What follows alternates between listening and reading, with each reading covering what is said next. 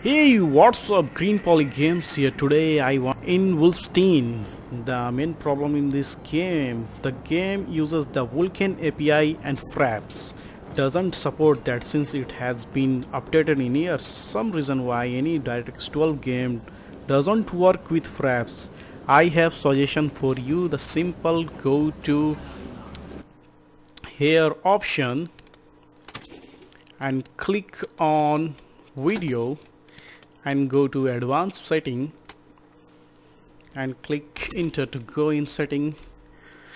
And here is the show performance matrix. Click it. Here is the all the full detail right side. And I am going to ultra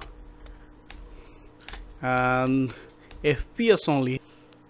And FPS only and applies changes and go back.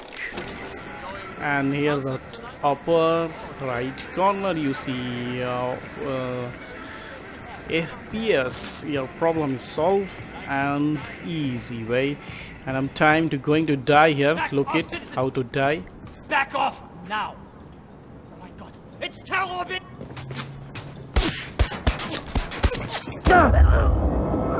here. Okay bye bye